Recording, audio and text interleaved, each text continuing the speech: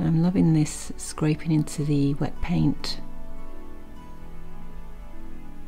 playing around with mark making and textures.